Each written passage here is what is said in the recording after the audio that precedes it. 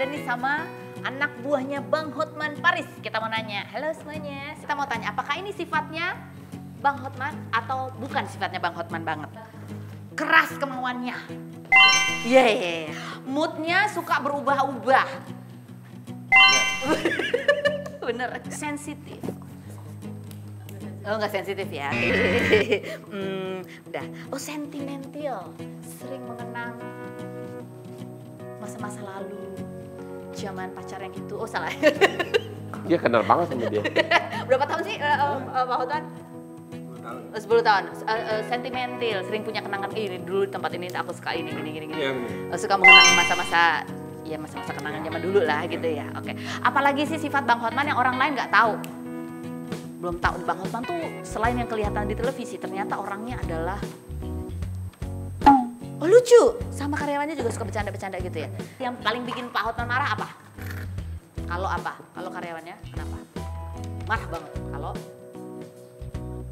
kalau telat, kalau teledor, kalau nggak teliti, kalau lelet, File suka hilang. oh file suka hilang ya pengarsipan. Oke baik. Banyak cewek suka yang datang ke sini, cewek-cewek cantik gitu. Ngapain mereka biasanya? Oh, Nggak tahu ya, oh, datang aja. Kayak aku gitu kan, kayak aku ya. ya. Aku juga termasuk cewek cantik ya bang ya. Lumayan. Ah, lumayan doang. Oke. Satu adalah kita akan bacain komentar netizen. buat Oke. teman-teman. Oke, siap. Jadinya ke mana-mana tetap di Rumpi. No secret. I know it's been a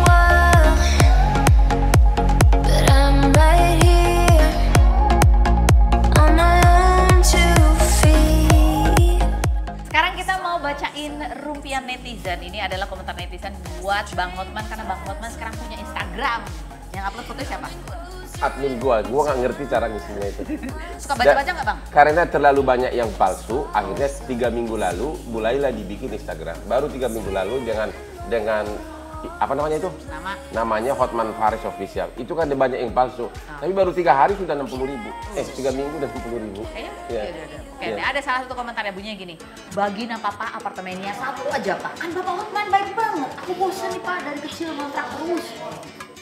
Gimana kalau ada orang ngomong Ya gitu? tergantung siapa yang minta. Oh gitu. Kalau yang minta ya mirip sama tante yang dulu itu ya mungkin dipertimbangkan. Sayang,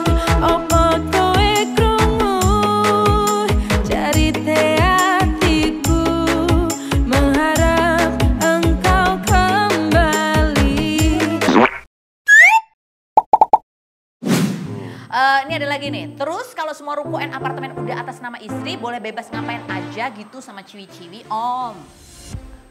Oh, saya tidak bebas tapi masih dalam batas tertentu. Biar bagaimanapun saya adalah manusia darah normal yang masih masih terpikat sama yang cantik. Tapi dalam batas tertentu. Dalam batas tertentu. Ya. Oke. Pak, kalau ada suami yang minta uang yang telah diberikan kepada istrinya untuk dikembalikan, itu gimana? Gugat habis, gugat habis. Saya saya bela wanita ya. Kalau ada cowok yang minta hadiah balik, hubungi saya. Kita lawan itu suami. Itu namanya pengecut itu suami.